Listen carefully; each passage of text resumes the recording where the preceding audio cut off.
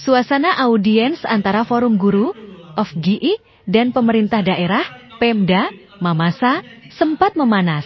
Pasalnya saat audiens berlangsung di ruang pola kantor Bupati Mamasa, Wakil Ketua DPRD Mamasa, David Bambalayuk mencoba menjelaskan beberapa persoalan yang dihadapi Kabupaten Mamasa. Namun upaya penjelasan dari David Bambalayuk sempat terpotong lantaran disoraki oleh peserta audiens atau guru. Ia menjelaskan persoalan defisit yang melanda keuangan Kabupaten Mamasa, namun disoraki oleh forum guru. Bahkan dalam pembicaranya David Bambalayuk terpotong karena sejumlah guru menyela pembicaraannya. Salah satu guru Rai mengaku tak ingin mendengar penjelasan dari DPRD Mamasa soal defisit anggaran. Kami inginkan solusi dan dibayarkan, ujarnya. David kemudian melanjutkan pembicaraannya, namun disoraki oleh forum guru. Karena tersulut emosi David Bambalayuk gebrak meja, hingga suasana sempat tegang. Tolong Bapak Bretika, jangan dipotong kalau saya bicara. Ujar David, sembari tangan kanannya gebrak meja. Setelah salah satu perwakilan guru,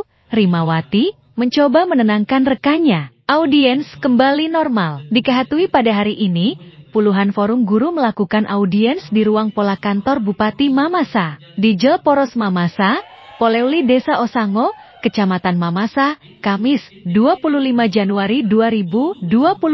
Diberitakan, puluhan guru dari Forum Guru Bersatu lakukan audiens dengan pemerintah daerah, Pemda, Mamasa. Pertemuan dilakukan di ruang pola kantor Bupati Mamasa, Jel Poros Mamasa, Polewali, Desa Osango, Kecamatan Mamasa, Kamis, 25 Januari 2024. Kegiatan ini dihadiri oleh PC Bupati Mamasa, D. Armuh, Zain, Sekda Mamasa, Muhammad Syukur, Ketua DPRD Mamasa, Orsan Sulaiman, Wakil Ketua DPRD Mamasa, David Bambalayuk dan juga Kepala BPKA di Mamasa, Heri Kurniawan, salah satu perwakilan guru, Rimawati dalam penyampaiannya katakan, pihaknya meminta sertifikasi dan tamsil guru segera dibayarkan. Ia mengaku, hasil pertemuannya dengan Pemda Mamasa itu, pihaknya dijanji akan dibayarkan bulan Februari 2024 mendatang. Karena itu, kata Rima, jika dalam waktu yang dijanjikan itu lantas pihaknya tak dibayarkan,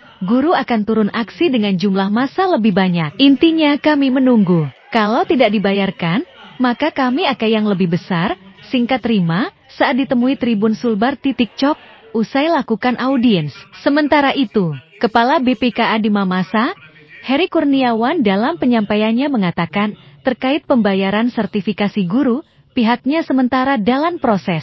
Ia mengaku, telah diinstruksikan dari Kemendibut dan Kementerian Keuangan, agar guru tersebut segera dibayarkan. Bahkan Harry mengaku, sebelum mendapat instruksi dari kementerian, ia telah membuatkan skema pembayaran untuk sertifikasi guru tersebut. Dengan cara kata Harry, pembayarannya bertahap. Namun lanjut Harry, Kementerian tak mau jika pembayaran sertifikasi guru tidak dibayarkan sekaligus.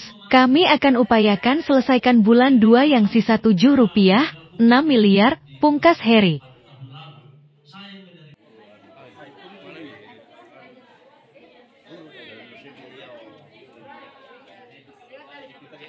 Download Tribun X sekarang. Menghadirkan lokal menjadi Indonesia.